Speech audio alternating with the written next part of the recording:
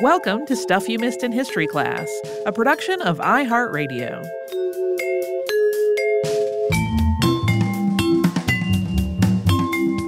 Hello and welcome to the podcast. I'm Holly Frey. And I'm Tracy V. Wilson. So, we have talked a number of times on the show about how we collect and manage our topic lists. Uh, and there are times I know for me when I come across something in the wild and I just scribble it down and then I don't have any idea what that was about. Right. uh, and I think you mentioned a similar thing happening recently, Tracy. I did. So, a few days back, I was reviewing a notebook that I had recently been using to keep my to do lists and my schedules in because I kind of do. I'm reticent to call it a bullet journal. It's really just like my weird, if Faulkner kept a bullet journal kind of stream of consciousness of like all my to do stuff. So it's at least in one place for the important things. Um, and I then I go back and I review them and make sure I've captured anything that needs to get carried over into the next one. And I'm a little slow to do it with my transfer from one to the next this time. But I was looking over this last book and in a literally in a margin sideways, I had just written the word Sissieretta and I didn't know what it was. and I couldn't remember where it came from. Uh, so I looked it up and I sure am glad I did uh, because it turns out that at some point in the last several months, I had apparently stumbled across Sissieretta Jones, who was a black operatic and popular music singer in the early 20th century. And she was very famous in her day, but then she kind of vanished from the papers and all press coverage when she retired. And her last years were lived in relative obscurity, which meant that when she died, nobody really knew very much about it and it didn't get a lot of coverage. And she really hadn't been uh, as, celebrated throughout history as she certainly deserves. So she is due for a little bit of attention, and that's what we are talking about today. Matilda Sissieretta Joyner was born January 5th, 1868, in Portsmouth, Virginia. Uh, we don't have any recording or anything of how she said her own name. I've heard people say it's Sissieretta and Cicieretta. We're just going to stick with Sissieretta for the sake of consistency. The date of that also has some question marks because some records have 1869 rather than 1868 as the birth year. Sissieretta was born into a religious family. Her father, Jeremiah Malachi Joyner, who went by Jerry, had been enslaved at birth but was a free man when Sissieretta was born. He worked as a carpenter and as a minister at the African Methodist Church. Her mother, Henrietta, worked as a washerwoman and also sang in the church choir. Sissieretta went by both Matilda and Sissy with her family. Yeah, we'll talk about her name a little bit more uh, in in just a bit, and we should also mention, like, it's worth noting that she was born just a few years after the Civil War ended, so like at a time when the the country was really going through significant change. Uh, Jerry and Henrietta had two more children in addition to Sissieretta, but both of them died when they were still young. In 1876, after the loss of Sissieretta's brother, the family moved to Providence, Rhode Island. Jerry had been offered a position at a church in Providence, and he saw this as an opportunity for a better life in this other state. Sissieretta was enrolled once they moved at Meeting Street Primary School, which was integrated, as were all Rhode Island schools, following the passing of a statute by the Rhode Island General Assembly on March 7, 1866, that had stated that, quote, no distinction be made on account of the race or color of the applicant. So it seems like at this point, the Joyners were really settling into a stable community that had better opportunities than they'd had back in Virginia, but things were strained at home. We don't really know the specifics of the situation, but by 1878, Sissieretta's parents were living separately and she was living with her mother. The Joyners formally divorced more than a decade later in 1889. Court records indicate that Jerry had accused his wife of adultery. It's not really clear how much involvement Jerry had in Sissieretta's life after the Joyners separated.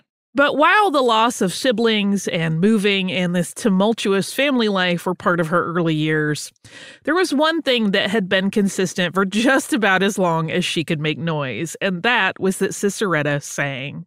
She loved to sing. She would later say to a reporter, quote, When I was a little girl, just a wee slip of a tad, I used to go about singing. I guess I must have been a bit of a nuisance then, for my mouth was open all the time. In addition to just singing on her own whenever she could, she sang at school, she sang in church, she sang at events for school and church. Everyone could hear that she had a really exceptional voice, even when she was a child. She described being nervous about performing initially when she was young, but then, as she put it, quote, timidity was soon replaced by confidence. And somewhere along the line, someone talked to Henrietta about how beneficial it would be for Sissieretta to get formal training for her natural talent. There's a story that she told later in life that someone at church was like, your little girl just hit a high C. Please find her a school. um, and so in 1883, 15 year old Sissieretta started taking lessons at the Providence Academy of Music. It is a little unclear how these lessons were paid for. Uh, Henrietta would have had a very hard time covering this cost, but the, as a consequence, there's been some speculation about whether someone from the community may have helped out with money, or even perhaps people in church kind of contributed into a fund, or if there was just some other arrangement at the school, but we really don't know. In addition to the start of her formal training, Sissieretta also had another major life change at 15 when she rather suddenly married a hotel porter who worked at the Narragansett Hotel. His name was David Richard Jones. Sissieretta actually lied on her marriage license. She said that she was 18 and her new husband was 21. Seven months into the marriage, the Joneses had a child. It was a daughter that they named Mabel Adelina. And Sissieretta, though, did not give up her singing lessons. Uh, David, who had worked his way up from that uh, porter position to a waiter position at the hotel, continued to work to support them. And Henrietta assisted with childcare so they could make this whole thing work. And they all lived together at Henrietta's house. Not only was Sissieretta studying, she was also performing regularly at church concerts as well as in small secular performances. Sometimes her name was listed for these as Mrs. Richard Jones. And one thing to note about names here we've been referring to the singer as Sissieretta, but for the early part of her career, she used her first name, Matilda, as well as Mrs. Richard Jones or Matilda S. Jones. We're using the name that she became famous for just to keep things kind of consistent because there are a number of different ways she was billed one of which is really famous, but also pretty gross. And we will get to that in just a bit uh, when she herself made this switch. So she appeared in 1885 at the Providence Armory Hall alongside established singer Flora Batson. And Batson really offered a glimpse of possibility to Sissieretta regarding her potential career. Flora at this point was breaking the color barrier and performing in front of white audiences singing classical music, and not the expected jokey and often demeaning minstrel material that had been the only avenue available for black performers for a long time.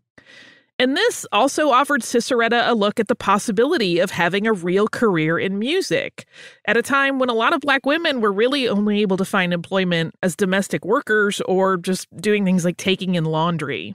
In December of 1885, she got the chance to perform with another black singer who similarly was expanding her career beyond what was expected, and that was Marie Selika. Selika was famous, and being billed in a concert with her was a really big deal. And eventually, the three singers, Batson, Selika, and Jones, would be constantly compared to one another in the press. But just as Sissieretta was really getting some acclaim and some name recognition, her daughter Mabel got sick. And Mabel did not recover. She died in February 1886 at the age of two, and the cause of death was listed as pharyngitis and croup. For several months, Sissieretta stopped all performing and grieved, but by late spring, she was ready to sing again. And at that point, she started to once again perform in concerts around Providence.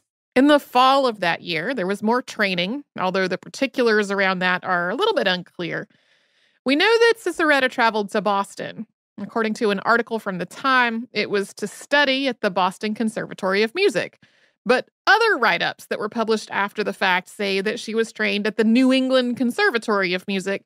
There's really no corroborating evidence for either version of this story, though. She doesn't appear in the records of the New England Conservatory, and the Boston Conservatory's records have not survived to be checked. Yeah, so we don't know because it is possible that she could have studied at the New England Conservatory and just not been noted as a student, like as a a side deal with one of the teachers. We just have no idea what happened there. But by the end of 1886, Jones had completed her studies in Boston and she was back in Providence once again giving performances. She and her husband had a lot more in mind for her, though. She started appearing on regional tours, often with Flora Batson. And in 1888, she made her New York City debut in a concert with Batson at Steinway Hall. That was at a benefit for the Odd Fellows Building Fund. A lot of her early performances like this were benefits. Sissieretta was billed as the rising soprano of Providence. And the concert ended in the red because inclement weather kept people from attending. But the reviews of Jones in particular were glowing, and this led to a similar concert booking in Philadelphia soon after. So it's unclear which of these shows that talent agent William Risden saw, but he was really impressed with Sissieretta when he did see her. And this led to a contract with his agency, which was Abbey Schoeffel, and Grau. Risden had quite a plan in mind for her. And we're going to pause here for a word from our sponsors. And when we come back, we will talk about the whirlwind tour that Sissieretta found herself on in 1888.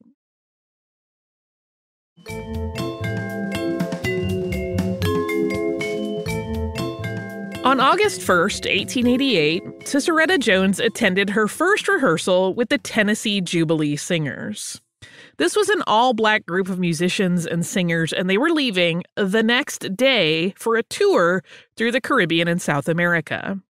Members of the press had been invited to hear the group perform after just a small amount of rehearsal on that same day. And once again, Sissieretta's voice captivated them. So it's from the coverage of this event that it seems like she got the nickname that stuck with her for the rest of her life.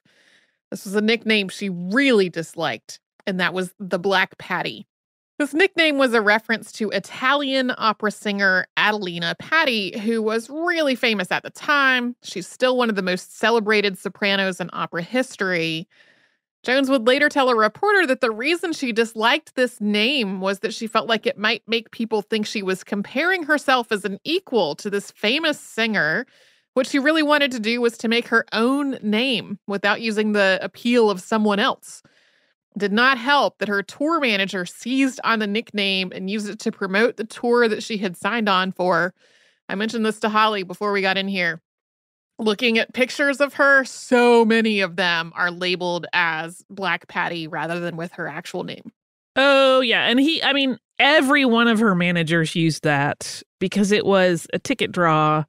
We'll talk about it a little bit more. It's horrifying. There, the other two singers that we mentioned, uh, Batson and, and Selika, similarly were called other things related to Adelina Patti. I think one of them was sometimes called Creole Patti, and I don't remember the other one offhand, but it was just like a very common thing and a little bit gross because it completely demeaned these three black women who were phenomenal talents. Um, yeah, we'll talk about that some more in a bit. So this uh contract that Jones had signed was for two years.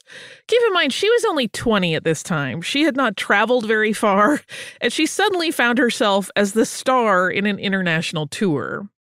And on August 2nd, the day after that one day of rehearsal, she boarded the steamer Athos along with her fellow performers, her husband, and their tour manager, James R. Smith, who was white, and they all headed to their first stop in Jamaica. They stayed in Jamaica until October because they kept selling out their shows. Then they went on to Panama. Their stay there was a lot shorter than anticipated because they had low sales numbers. It was kind of the opposite experience. But by November, they were back in Jamaica. Then they moved on to Barbados. Barbados loved her so much that the governor and citizens of Bridgetown presented her with a gold medal, and this was the start of a trend. In Trinidad, she was given another medal. And when they got to Guyana, which was at the time British Guyana, they had to cancel the first performance because most of the performers were terribly seasick. They had had a rough ride uh, on the way and they just could not make that first show. And after a rough start and weak initial turnout, which was by some attributed to racism and by others uh, just a mix up of what was actually going on with the booking, Madam Jones, as she preferred to be called, received a third gold medal. As the tour continued, she continued to be adored by audiences right up until the group made their return to New York. That happened in February of 1889. They had met with such great success, and by the time she got back to the US, Jones had been given eight different medals as well as other gifts, but they'd also experienced a lot of racism in these travels. In some cities, that racism impacted their ticket sales. In others, they had been turned away from hotels. But this was a profitable venture, so their bosses were happy. Smith gave interviews, this was again the tour manager, where he talked about a planned tour for Europe. But then everything changed when he abruptly sold the rights to the Tennessee Jubilee Singers concerts to a man named George M. Duesenberry.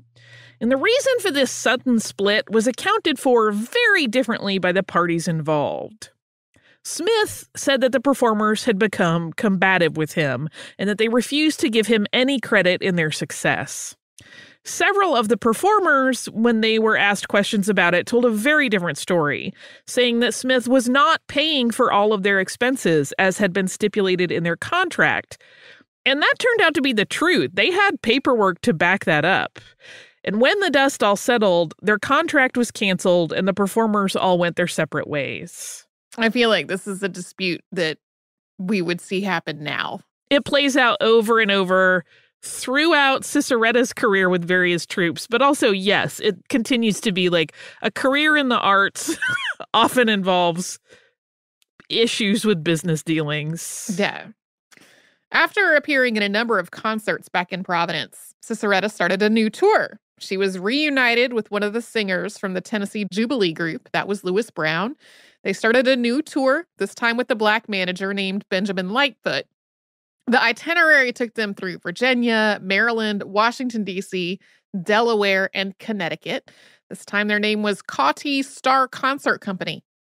Lewis Brown did not complete the tour, though, and was replaced. And Jones's husband, David, added two dates at the end in Baltimore. They wrapped up this tour at the end of June 1889 yeah, they were definitely reaching a point where her life was kind of like one tour after another. And they had a false start for an autumn 1889 tour of the West Indies that would have been managed by Florence Williams, who had worked as a reporter for the New York Age. Uh, so Sissieretta continued to sing instead throughout the U.S. Northeast on bookings that had been arranged by her husband, David. But in the spring of 1890, those contract disputes that had ended the fall plans were revisited, and soon Williams and the Joneses were able to come to an agreement. Under the name the New York Star Concert Company, they left for Jamaica in March. Although the name changed to the Star Tennessee Jubilee Singers on the way to their first destination. Williams was able to write up the tour as it went for publication in the New York Age. And this tour was a great success. Audiences had remembered Sissieretta, they were eagerly anticipating her return. By the time they got back to New York in July of 1891, Sissieretta had been applauded by heads of state and given more lavish gifts than on her first Caribbean and South American tour. And because of the press that had been picking up those New York age stories and then publishing them again in other places, throughout that tour that was going home. So when she got home, Jones actually had even more buzz than when she left. She gave concerts in New York, Brooklyn, and Philadelphia when she returned, often selling out. And in the case of an October 8th, 1891 show that took place in Brooklyn, they had to add seats to the aisles to accommodate the oversold crowds. And it turned out that some attendees just had to stand for the entire show because there was just nowhere left to sit. This is also when she switched over to using her middle name Sissieretta instead of going by Matilda. And this was a name that she just thought sounded more musical. Yeah, not not any other Sissierettas going around. So it also just made her stand out. And this also marks the period where she received her first invitation to perform at the White House. On February 24th of 1892, she sang at a lunchtime concert there for President Harrison and his guests. Although how she was invited and how this whole thing came to be was completely unknown. Any correspondence about this request has been lost. And she is also said to have sung for three other presidents, but similarly, details on those appearances and how they were arranged has also been lost she did decide that she would wear all those medals that she had been gifted on tour while she sang. They were pinned onto her bodice. And this would become a really iconic look for the singer. Her appearances in DC, both for the White House and for general audiences, also got a lot of press coverage. A lot of this coverage, though, is pretty problematic because it praises her, but it's also inherently racist, kind of summing it up to this idea of she's black, but she's also pretty and very talented. Yeah, it's a reading those is a little stomach churning because it is sort of like in spite of the fact that she is this, she's also this. So we're fine with it. It's really also in that tone that's very pat yourself on the back for accepting someone else. It's a yeah. gross, gross tone. Uh, but the outcome of this ongoing rise in recognition that Jones was getting was a very major booking. She was given top billing at the 1892 Grand African Jubilee at Madison Square Garden. This was a three day event at the end of April of that year. And when Sissieretta took the stage, that meant that she was appearing before a mixed race audience. An estimated 3,700 of the 5,000 audience members that were present were white. She wore a pale gray gown. She had all of her medals once again pinned onto her bodice and she opened her performance with a selection from the opera Robert le Diable, which was one of the first of the Paris Opera's grand operas. She also sang Suwannee River and an assortment of other songs, and when she finished, the crowd gave her a standing ovation. She returned to the stage later in the evening with a selection from La Traviata, and once again had the delight of the audience. And after the show, she was asked to give an interview in her dressing room for the New York Herald, which she did. Uh, and the next day, while some performances of the Jubilee got mixed or even bad reviews, Sissieretta's singing was praised universally. The write up in the New York Dramatic Mirror read that the evening, quote, would be worthy of little note were it not that it brought to the attention of New Yorkers a singer who, leaving her color altogether out of the question, has one of the most pleasing soprano voices ever heard in this city. Another write up stated that, and I love this, the soul of a nightingale seems to have lodged in that throat. This reminds me of the way that people talk about um, Jenny Lind. Mm-hmm. Although Jenny Lind is way more famous name today, probably because of racism. Um, but like a similar focus on like what a, a beautiful nightingale like voice she had. So this Madison Square Garden performance is the moment in Sissieretta Jones's career that really marks a shift. It had a very significant before and after this moment. She later said, quote, I woke up famous after singing at the garden and didn't know it. Sissieretta's voice was undeniably spectacular. We unfortunately do not have any recordings of it, and I wish we did because the way people talk about it is rhapsodic. And the thing is, everybody kind of recognized that she would have been able to handle operatic roles, which is something that she wanted to do. And there were even rumors that she was being considered for roles at the Met and with other companies. But opera companies at this point were not going to hire black singers, even for roles that were actually written as black characters. And aside from the racism in casting, there was this other problem, which is that there were plenty of other performers that were already established who had made clear that they would not ever appear on the stage with a black opera singer. She sang in numerous concerts after that night at the Garden, but it was two months later that promoter Major James B. Pond reached out to her about managing her career. She agreed, and soon she was on a one year contract with him. Pond was a really big deal. His agency handled people like Mark Twain and Charles Dickens on their tours, so this really seemed like a step up. In June of 1892, Jones sang in the lower level venue at Carnegie Hall for a benefit concert, not the main stage. This appearance happened very, very shortly after she signed her contract with Pond, and it seems most likely that it had been booked before he was managing her performance schedule. Pond booked a group of white European musicians for Sissieretta to perform with. This was the first time that she had not been part of an all black group of performers, and he kept them all really busy. This also marked a shift from performing for primarily black audiences to primarily white crowds. She noted to a reporter when asked about the shifting demographic of her ticket buyers, quote, I do not feel as much at home with them yet. I am a little shy lest they should not like me, but so far they have proved most kind. Pond famously booked Sissieretta at the Pittsburgh Exposition in September of 1892. This was a week long booking, and she gave concerts for thousands of people each day, usually doing one in the afternoon and one in the evening. And on her final night at the expo booking, the venue was so packed and so stifling as a consequence that several people are said to have fainted. And when it was over, she was applauded for a full five minutes. The expo continued after that first week, and Jones went on to perform in other East Coast venues. Then the expo manager begged Pond to book her for another week there at the expo, and this was really no small ask. As part of the terms of the second week of expo appearances, the expo manager had to buy out all the other appearances that she had been scheduled for that week. But she was a big enough draw that it was worth it, so they did exactly that. She's said to have commanded a $2,000 fee for the week, which was enormous for the time and particularly so for a Black performer. At the start of 1893, Sissieretta was booked at the Central Music Hall in Chicago, and she was still being promoted as Black Patti during this time and for the rest of her career, and she still disliked it, but it did help draw crowds. Although a critic noted in Chicago that the name kind of had a negative impact on the audience's impression of her work. Like he just felt like it set up this weird framing of it that was unnecessary. But regardless of whether ticket buyers merely went out of curiosity and draw of that name, or because they knew about her and knew she was a gifted singer, she continued to win audiences over with her beautiful voice and incredibly expressive performance, moving from operatic pieces to popular songs and back. Although in Chicago, she did get a handful of harsher critiques than she was usually accustomed to. That same year, in 1893, Jones sang on the main stage at Carnegie Hall as part of a fundraiser for a project helmed by composer Will Marion Cook.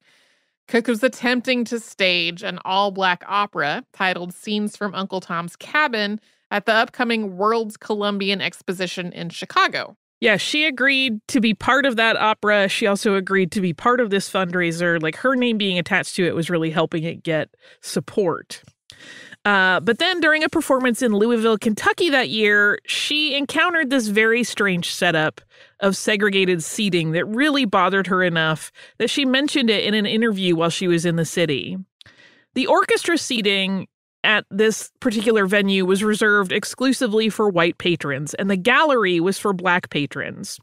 But because this particular concert had not drawn much of a white audience, she sang to a hall that was half empty at her level while the gallery above was full, and the black attendees were not allowed to move down to the empty orchestra seats. And she was quoted as saying, I have never met with anything like it before. I think people of my race ought not to be shut out that way. On April 25th, 1893, her manager Pond filed a motion to prevent Jones from appearing in concert unless he had arranged it. This happened because she and David had technically broken their contract by booking a couple of side gigs. But as this case unfolded, it turned into this ugly back and forth between the Joneses and Pond, including sworn affidavits that Pond's own boss had told them the terms of their contract couldn't be fulfilled by the company. This case dragged out into the summer with first a ruling in favor of the Joneses and then a second ruling in favor of Pond. So, though this strained the relationship, Sissieretta sang only when Pond arranged for it. And then in exchange, he had to pay her $150 a week. Since the country was entering a financial depression, the case could be made that this outcome was kind of favorable to the singer, at least just in strict financial terms. Yeah, it, it offered some stability at a time when bookings were not necessarily going to be as consistent because the people just couldn't afford tickets to go to shows.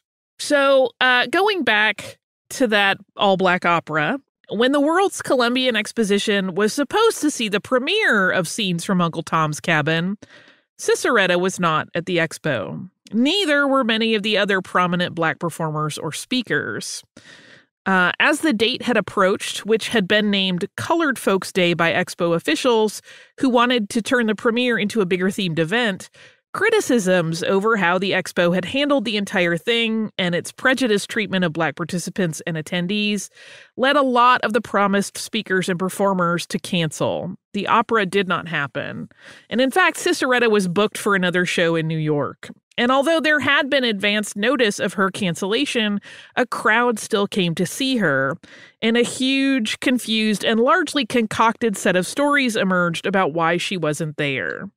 She did sing at that expo, although not for another month. And she did manage to pack the house despite that earlier kerfuffle. So apparently, audiences did not hold the whole confusion against her. So we're about to get to another new phase of Sissieretta's career where she joins a new manager and goes on an international tour. But first, we can hear from the sponsors that help keep Stuff You Missed in History class going.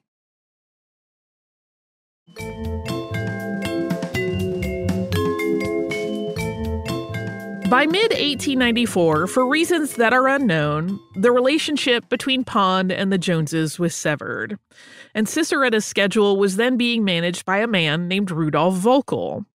And under Voelckel, Sissieretta went on a tour of Europe, which is something she had wanted for a very long time. The new company that Voelckel formed was called the Black Patti Concert Company, and that company staged its first performance, consisting entirely of classical pieces, at Carnegie Hall on November 18, 1894. So, after a number of concerts in the New York area and then the surrounding states, their European tour began on February 11, 1895, as they headed to their first show in Berlin. The reviews were just wonderful. One German reviewer wrote, quote, her voice has power and fire, and the florid passages remind one of the rapid flow of a mountain brook.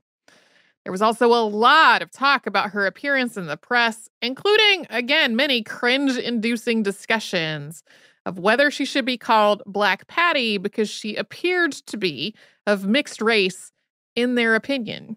Yeah, there was so much discussion about the shade of her skin and what that meant. And it's gross. We can talk a little bit more about it in our behind the scenes, but those descriptions are upsetting. Her reviews when she got to London were a little bit more critical. There were some more direct comparisons to Adelina Patti, and Jones was found lacking by some reviewers, not all.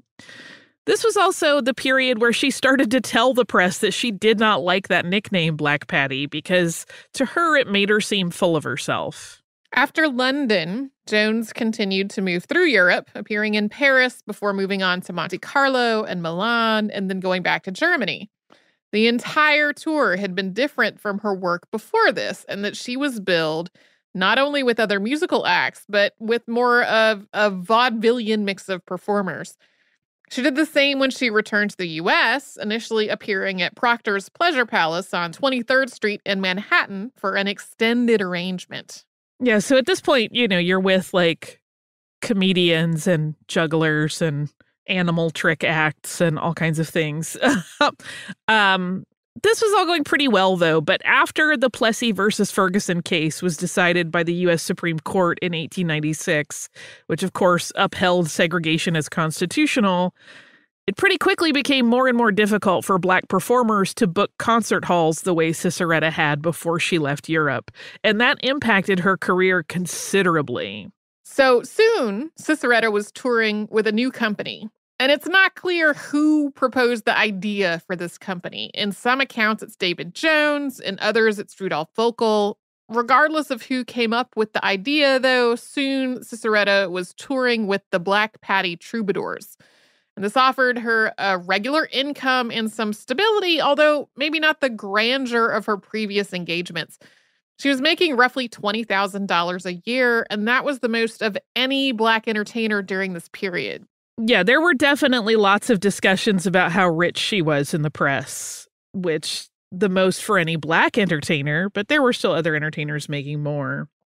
But because Sissieretta's voice was universally acclaimed and she had made this transition to, you know, kind of a touring comedy troupe almost more than than these, you know, very um slightly more highbrow concert situations, An interviewer in 1896 asked her if she would ever consider just disguising herself as white or lighter skinned to pursue the career that she could have easily had if racism had not maintained this barrier to opera.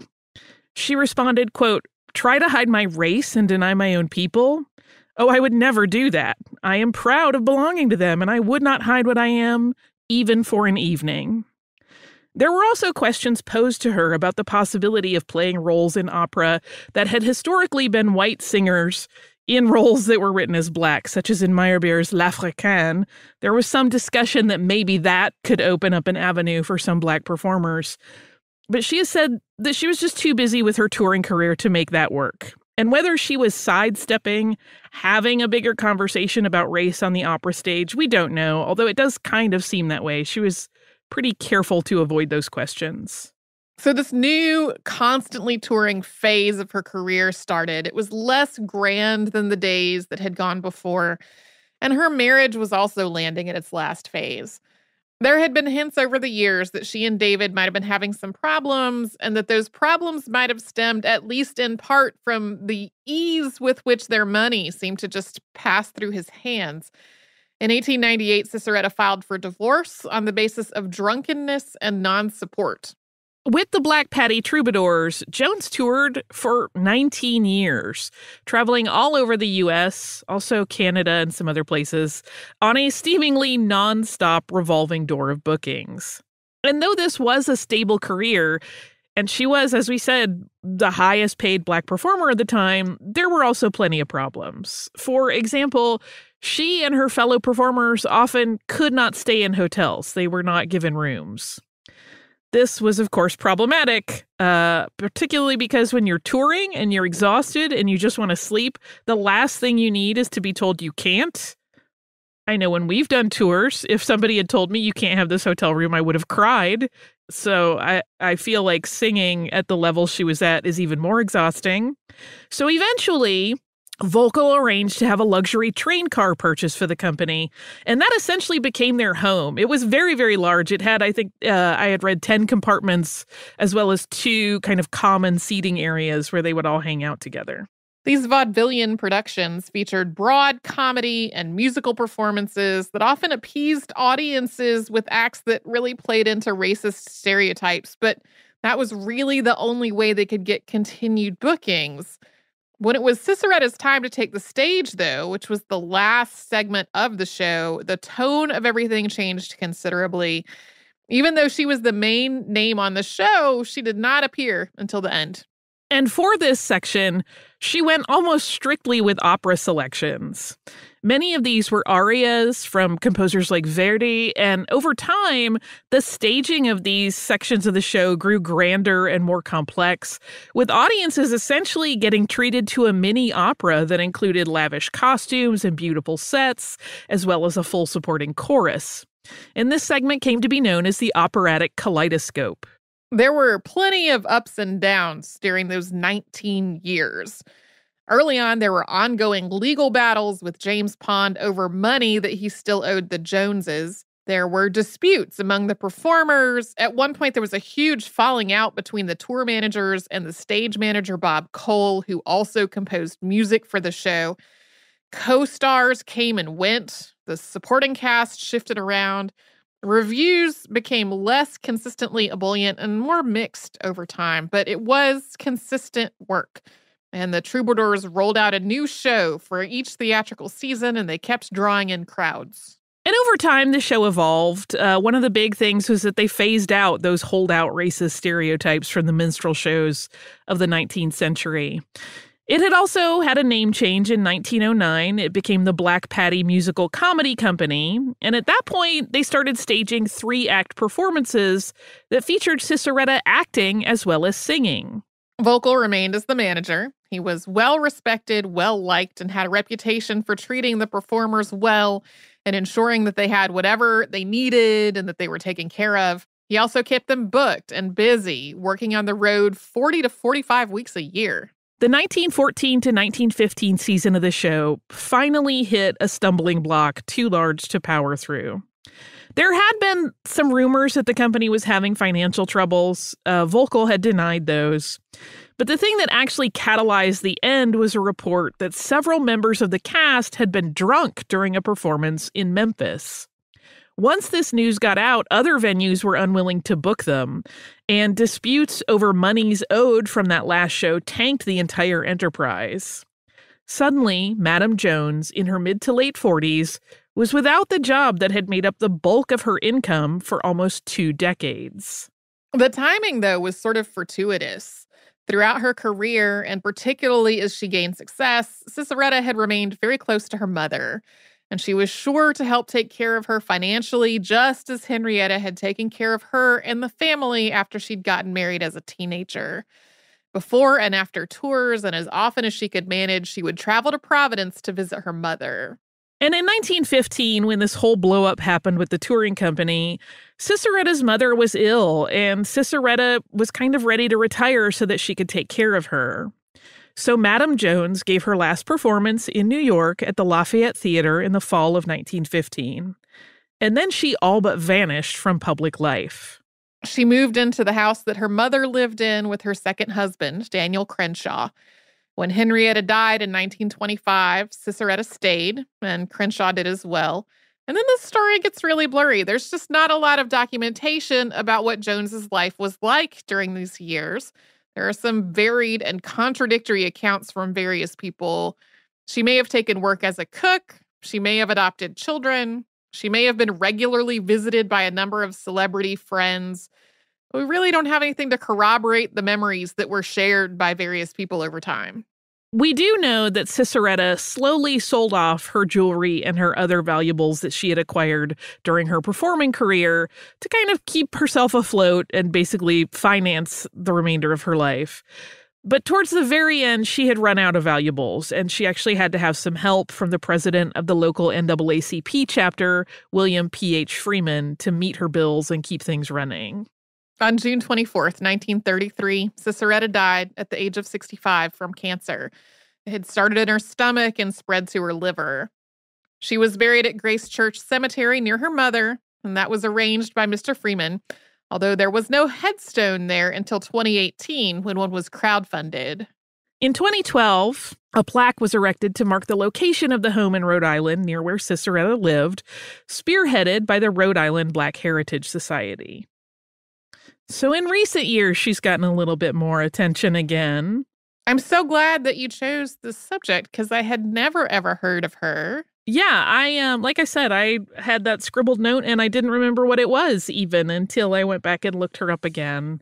You can't help but sort of fall in love with her. She's really uh, an interesting figure.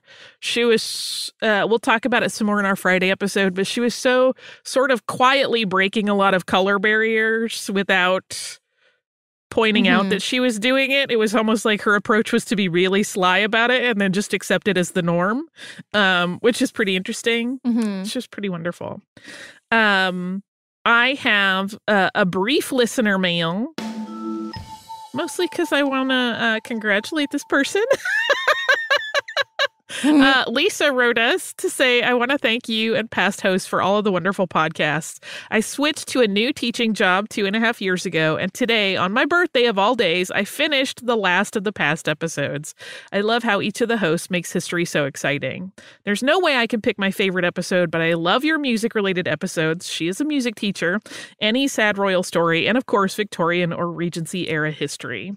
Attached is a picture of her in her PhD shirt. We um, have shirts on our TeePublic store that say PhD and stuff you missed in history class. And she has earned one. I thought this was a great time since this was a music episode to uh to give her a shout out and thank her for writing in and telling us about it. And her picture is adorable. Mm-hmm. And uh, thank her for being an educator as well. We need it. Um, and there's there's so much that mm. says that um, music education leads to all kinds of better performance in other areas uh, of academics. So those music teachers often the unsung heroes. Uh, if you would like to write to us, you can do so at historypodcast at iheartradio.com. You can also find us on social media as Missed in History, and you can subscribe to the show on the iHeartRadio app, at Apple Podcasts, or wherever it is you listen.